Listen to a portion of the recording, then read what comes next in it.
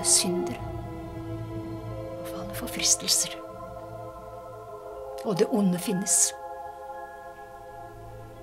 Og noen steder i verden så fins det dype hull. Hull som fører rett ned i avgrunnen. Kommer du til å kunne like det? Gjør ikke du? Jeg vil savne byen. Det er en helt annen ånd i byen. Den ånden her, den er annerledes. Hei, du! Skremmer meg. Det frister deg til å se mer enn det som er menneskelig. Selv om det virker tiltrekkende og forlokkende, så er det det onde som står bak. Hvor er det du har vært? Eier du ikke samvittighet? Jeg har sittet her i hele ettermiddag og passet på. Ja, hva er det med deg? Hvorfor oppfører de seg så merkelig? Jeg vet ikke. Jeg er redd. Det er noe galt med dette stedet vi har kommet til, og jeg veit det.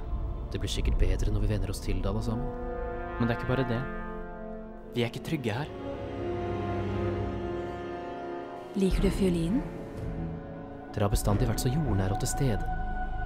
Nå er dere akkurat som i en annen verden. De virker Besatt. Du rører aldri den fiolinen igjen, forstår du? Du er det vakreste jeg har sett. Kanskje vi skulle ha hjulpet dem? Vi skal ikke hjelpe dem.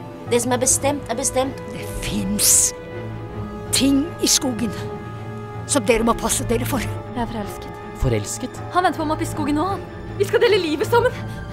Har jeg fortalt deg det? Vi skal reise sammen nå i kveld. I kveld, bare vi to.